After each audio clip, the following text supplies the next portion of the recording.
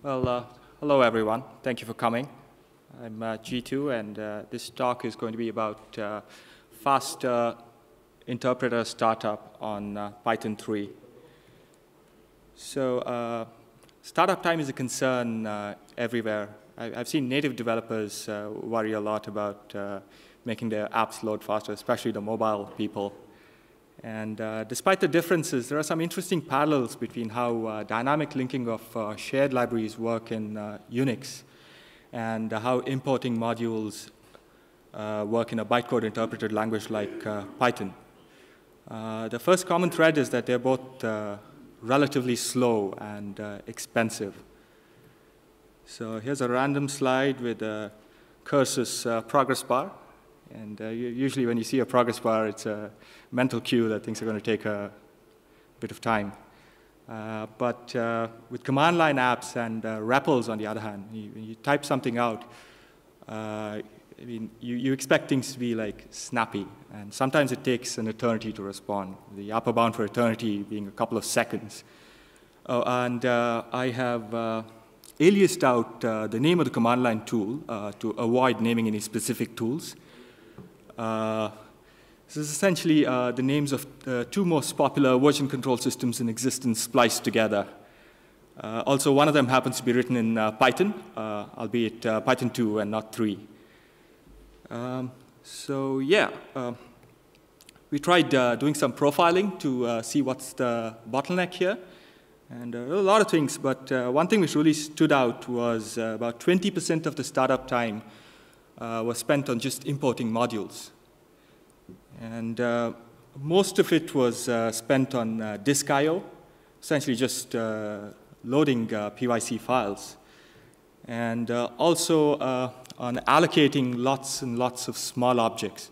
CPython, incidentally, has a lot of optimizations in place for making small object allocation really fast and cheap. But we won't settle for anything but completely free. And uh, I kind of love the sound of the phrase zero cost abstractions. I mean, this is something which was popular among the C++ community at one point, and these days uh, the Rust community keeps talking a lot about this. So how do we go about uh, solving this problem or uh, maybe making it uh, less of a problem perhaps? So one possible solution is to uh, just uh, go for the, uh, the latest, hippest uh, ahead of time compiled language and uh, rewrite your whole code base in it. Uh, it's a valid approach. I, have seen uh, quite a lot of projects do this, both open source and closed source. isn't the easiest thing in the world because it's the first thing you need to do is like it's a very sort of a temporal thing. Uh, what's hip today might not be very hip tomorrow. So you probably might want to go to Hacker News and find uh, what the static language of the month or the week is. And uh, you probably have some fun uh, learning the new language, and, uh, and then uh, you actually have to get down to the hard work of actually rewriting your Python code in this new language and dealing with all the missing Python idioms or Pythonisms. So here's another contrived example. So uh, I just have uh, Python uh, with a single line, uh, import sys. Uh, so the question is, uh, how many PYC files need to be loaded for just running import sys? And sys module, incidentally, is a very special module in Python, so special that it's a part of the interpreter core. Uh, and it's implemented in C. So I'd have expected it to take uh, zero or maybe not more than a handful of uh, PYC files to load. So let's see. Okay, uh, and uh, it spews out a big list. And I'm excluding things starting with underscore frozen because, as we'll see later, it's baked into the binary. by the way, I should have used a list comprehension here instead of a list constructor with a generator expression. Should have gotten my slides uh, code reviewed. uh, sorry? Uh, I don't know how to go about doing that. Let's see.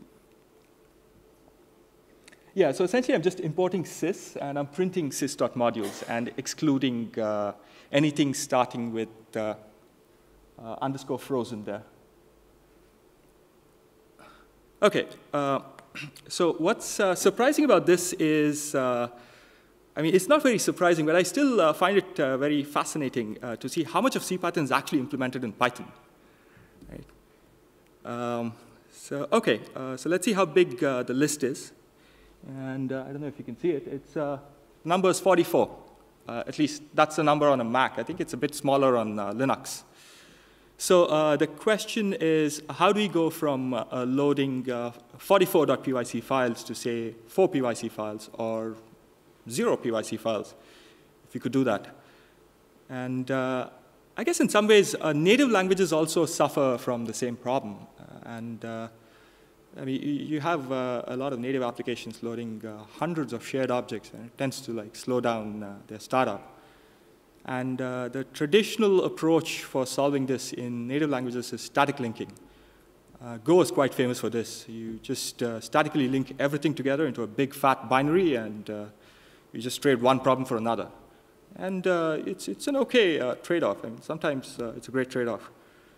So the question that I wanted to answer here was, uh, is there a way to uh, possibly uh, steal some ideas from static languages uh, to maybe uh, make uh, Python startup faster? So now for the agenda, we're going to start with an overview of the module loading system. It's going to be a very short, high-level introduction. we won't go into the details of how importlib works because it's quite low-level and relatively complex. Uh, also, this talk is going to be about Python 3 and uh, not uh, Python 2. There's some significant differences in how the import machinery works between Python 3 and 2. And uh, needless to say, it's a lot uh, nicer and simpler in Python 3 than it was in Python 2. Okay, uh, yeah, next I'll talk about what we did to improve the startup performance. And uh, spent some time on uh, the prior art uh, from uh, other uh, dynamic language runtimes, and there's a long history of this. And uh, anything you can think of in terms of dynamic language optimizations, chances are that Lispers have done this decades ago. So, and finally, some future work on how, how we could go about making this better. So, Okay, let's get started then.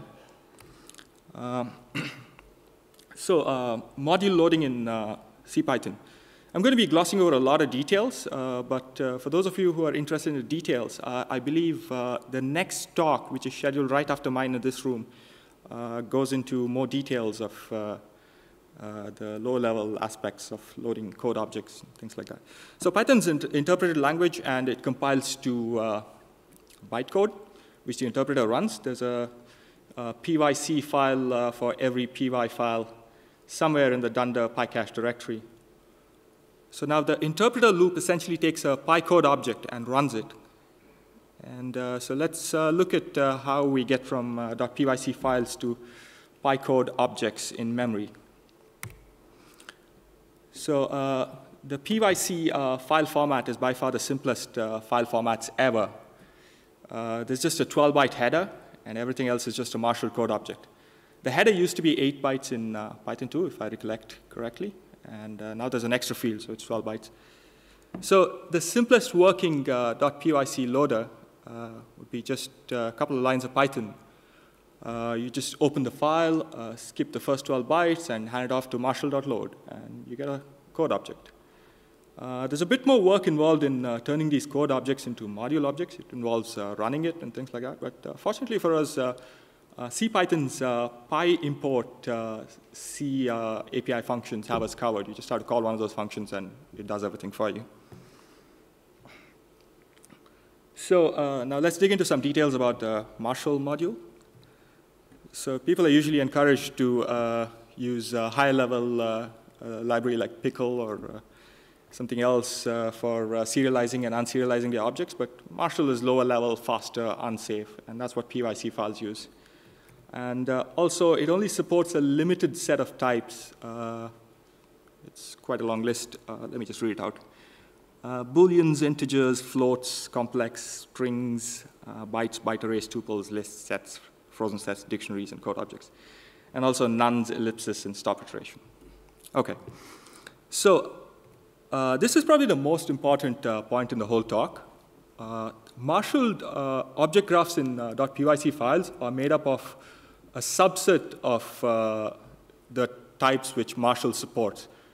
And this subset is completely um, yeah, so th this subset of objects is immutable. And it's a very uh, tiny subset, so it's just uh, booleans, integers, uh, floats, complex objects, strings, bytes, frozen sets, and code objects. Okay, so here's a plan for improving startup performance. so we want to bake in frequently used modules into the data segment of the compiler binary, compiled Python binary. And uh, this isn't entirely unprecedented. Uh, CPython already does this for uh, two modules from importlib. So uh, parts of importlib are uh, written in uh, Python, and it presents an interesting chicken and egg problem. How do you import parts of importlib before importlib is ready at startup? so CPython's solution to this problem is something called frozen modules. So they just serialize .pyc files into a a C array of bytes and uh, bake it into the binary with a header. And uh, at startup, uh, you essentially just uh, pass this byte array uh, to marshal, and you just uh, get the module back. So you can essentially load these modules without having to import, invoke the importlib machinery. Um, okay, so this uh, approach that uh, CPython takes essentially only addresses uh, one part of the problem, which is disk I.O. Uh, but we want things uh, to be absolutely free, as free as it can get. And uh, we don't want to pay the price of creating lots of tiny objects in memory. So we cheat. we use a sneaky little trick. there's this neat feature in C99 called designated initializers. it's a bit like what uh, uh, list or set literals in uh, Python uh, are, except for the fact that uh, we, we, are talking about C, which is lower level, and all you have are like arrays, structures, and unions. Uh, incidentally, this is one of the two C features that I know of which haven't made it to C++ yet, as of C++ 11. The other feature is variable length arrays. Okay, uh, sys.modules is a dictionary uh, which uh, maps from module names to module objects. So we can call uh, PyImport exec code module object, is a mouthful, uh, on our uh, statically frozen code object pointers in C and put the resulting module into sys.modules. Uh, importlib requires uh, is required to actually look into uh, sys modules before essentially uh, searching for anything else.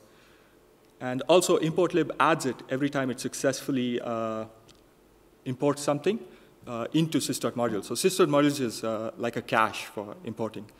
So we cheat by injecting modules directly into sys.modules. It's a bit of a hack, and perhaps there's a cleaner way to do this, but this seems to work for now. And uh, finally, I'm missing a bullet point uh, titled profit. okay, uh, so let's uh, look at some uh, benchmarks. Uh, so this is a very simple micro benchmark. we try to count the number of open and stat calls that the Python binary makes at startup. And you see that the, the, number of stat and open calls are reduced by half. I, I hope the slides are readable. Uh, and uh, so some of you might be wondering uh, why hasn't the uh, why haven't the numbers gone down to zero? And uh, that is because uh, of dynamically linked shared objects, the C equivalent of imports, roughly speaking, which also end up calling open and stat to load their modules. So libpython, libc, any native extensions, and a lot of uh, shared objects loaded also indirectly end up calling uh, OpenStat. So you cannot uh, entirely get it down to zero, but uh, we verified that uh, we're not loading any .pyc files. So this is just native stuff. Uh, okay, so here's a very similar uh, benchmark. We, we try benchmarking importing difflib, uh, which is around 2,000 lines of Python code. And we achieve a nearly two-thirds reduction in the number of stat and open calls. And uh, we chose difflib for uh, benchmarking startup because it's a relatively large uh, Python module, which also happens to be a part of the uh, Python standard library. Okay, uh, so in terms of uh, performance, the improvement is rather modest compared to the reduction in number of open and stat calls. in this case, it's approximately 21% improvement. And Incidentally, uh, Bench is uh, quite an interesting uh, benchmarking tool. Uh, it can run uh, any uh, command line app until it can find a fixed point for the startup time, sort of like a generic version of Python's timeit module. but this happens to be written in Haskell. And I tried to get it building on my Linux server, but ran out of patience while trying to install Haskell stack. So, uh, which is why these uh, benchmarks were run on a Mac instead. um, okay. So the, the same uh, benchmark again with difflib, uh, approximately a 22% uh, improvement. So you, uh, you might notice that we're reducing things by approximately a constant factor in both the number of open and stat calls as well as the startup time. And uh, this pretty much is what's going on here. I mean, we could bake in more modules and get fatter binaries, and uh, so it's a trade-off. Uh, so now we'll look at some uh, ugly uh, generated uh, C code. okay, I hope it's readable. Yeah, okay, so this is the simplest possible case. so actually, none's are simpler, but let's just go with ints for now. so essentially, we just have static structures uh, with a bunch of macros. Uh, so if you can uh, essentially cast this into a Py object, it uh, behaves like a Py object, except for the fact that you can't free it, but that's another thing. Like if you try to free it, you'll get a hard crash. And uh, so uh, the way we prevent freeing these objects is by cheating with a ref count of two instead of one. So it never frees it. Uh, but uh, we, we only do this, uh, I mean, uh, this, this sort of cheating is only done on uh, top level objects.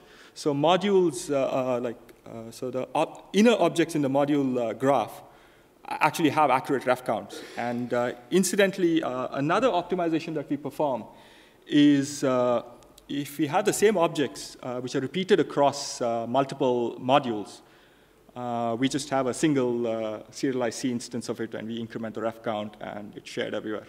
So uh, immutability, uh, uh, immutability uh, wins. And yeah, strings, also known as PyCode objects, are a little more complicated. there are about four different internal representations for Unicode objects in CPython, and we had to implement support for serializing all of them. Okay, uh, so tuples are a bit more complicated uh, because uh, they're containers for other objects, and uh, this means that uh, uh, there are some interactions between these objects and the garbage collectors. And, and we just tell the garbage collector to not track our objects. I don't think the slides are readable, but yeah. Yeah, so we just say, um, we say, oh yeah, uh, GC untracked. So we just set the GC untracked flag and we set the previous and the next pointers to null and just works. Uh, so uh, the tooling uh, I wrote to uh, do all of this uh, was about 800 lines of Python, 700 lines of C code, and some 200 lines of tests. and the patch to CPython was about 100 lines or so. And, and that was it. So I think like once you figure out all the hairy details, it's incredibly simple to implement. Uh, incidentally, uh, the generated uh, uh C code for uh, all of this was about uh, 75,000 lines of C, but it's machine generated, so I'm not really that concerned about it. Um, okay. yeah, there's one thing that I didn't mention, which is we had a minor problem with frozen set objects. So hashes for strings and bytecodes are randomized at startup to prevent uh, hash chaining attacks. And uh, we can get around this with, uh, for the cached uh, hash field on Unicode objects by setting it to minus one, and the interpreter just uh, populates it on demand. Uh, not so for buckets on set objects. so the comment you see there, if you can read it, cached hash code of the key is a bit misleading. Setting it to minus one leads to a hard crash while the interpreter does a set lookup. So the workaround was to essentially have a predicate which uh, checks every set in the code to see if uh, hash randomization is applicable to any of its uh, items or items within items. Uh, and uh, if that's the case, we just tag it and uh, we do it at runtime. So this is probably the only bit which we do not, which is not zero cost. but everything else is absolutely free. And okay, so let's talk about prior art. Uh, there's a lot of prior art, uh, dating all the way back up to the early 70s. Uh, so things that we take for granted today, like uh, you know, linkers and loaders and shared objects and things like that. I mean, these things did not exist in the early days of computing. And uh, the only way to go about doing things was to uh, have a little REPL and you just run things and you dump the memory image onto a disk and the next time you come back, you load the memory image again. And uh, so, I mean, there's a lot of uh, image-based languages around. So uh, let's start with the modern times. Uh, V8 has this feature of uh, startup snapshots. JavaScript, despite being syntactically rather different from Python, shares uh, very similar problems when it comes to importing modules. Um, I mean, requiring modules in JavaScript. And uh, this problem is particularly pronounced for uh, the now uh, fashionable trend of writing desktop GUIs in JavaScript with the Electron framework. And uh, Atom, uh, one of these editors written in JavaScript, uses a V8 uh, API feature called create snapshot data blob to essentially create an image, a pre-warmed image with all the required modules preloaded and uh, that seems to make uh, startup faster for them. So going a little further back, Emacs, uh, which is mostly written in eLisp, again a dynamic interpreted language, had a very similar uh, problem, and uh, their solution to it was quite interesting. They implemented an unexec function. Uh, it's one of the more bizarre function names I've come across. It's, it's, quite logical, actually. exec, which we all know, takes an executable file and returns you a process. Unexec takes a process and gives you an executable file. And uh, I believe this feature has lately been deprecated by the Emacs people because uh, apparently it's a lot of work to support across all platforms. So, yeah. And uh, finally, yeah, image-based languages.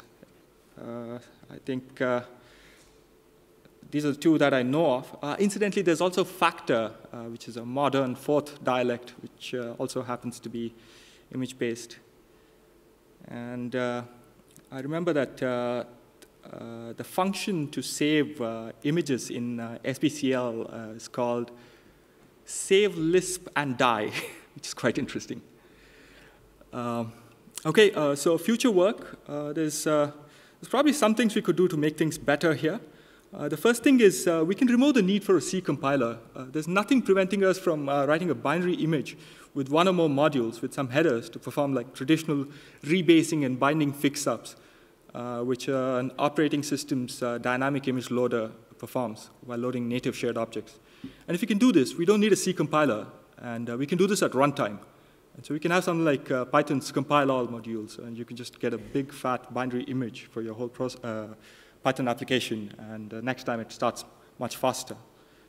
And I think that'll make it a lot more accessible to uh, everyone else. You don't need to have a C compiler run. And uh, finally, uh, I did mention that uh, injecting modules into sys.modules is a bit of a hack.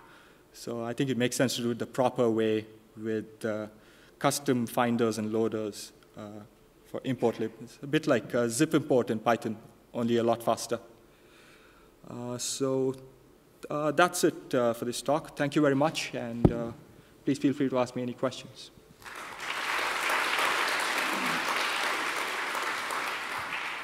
Okay, any questions, please? Well, I think it's okay.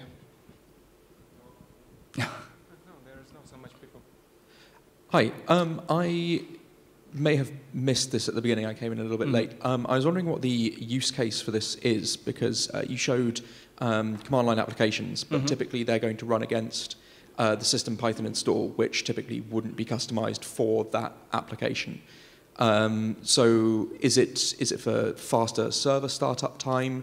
Um, Actually, it, it doesn't matter as much for server startup time because uh, server processes are usually long running, right? yeah, of course. Uh, so now, even if it is uh, system Python, uh, you have a set of modules which are always uh, imported. And you could shave a couple of tens of milliseconds off of startup time uh, for, system Python. But obviously, if you're bundling your, uh, uh, so I think uh, something like, uh, say, Py2exe or whatever could probably stand to benefit a lot more from something like this. Mm, hello. Mm, you showed us the syscalls Mhm. and the number decre decreased, Mhm. but there was the column that said that uh, calls without errors Oh, right. were the, were the same, the same number. So Uh, let's just go back to it. mhm. the previous one, Right. uh, the previous one, even. Oh, okay. Uh, Yeah. Oh no, these are errors. Uh, uh, aha, okay. This without is the comment from above line. Okay, sorry. Yeah. Yeah, yeah. Uh, so I think importlib uh, tries to look for a whole lot of things. And uh, I think uh, we did not lobotomize importlib sufficiently uh, for this uh, Ah. test. Sorry. Okay, okay, uh, so is this? Uh, oh, sorry. So I'll stand up. Uh, so this your py, uh, patched Python. Like, Mhm. do you want to use it for yourself, or you want to push it to upstream at some point? Well, uh, I don't know. I think uh, the upstream doesn't really like a dirty hack like this. Uh, but uh, I suppose we could probably clean it up and uh, I have it as uh, some sort of a third-party module where you just import stuff and things. I mean, this is something I mentioned in the future work section, right? So if you can get rid of the dependency on a C compiler, uh, you could just uh, have something like, say, import startup speed, and it just makes things faster. But you're you're actually using it right now? Uh, no, no, it's just an experiment. Ah, Okay. Yeah. Um, okay, I think we don't have times for time for questions anymore. Uh, let's thank Gidio. Thank you very much.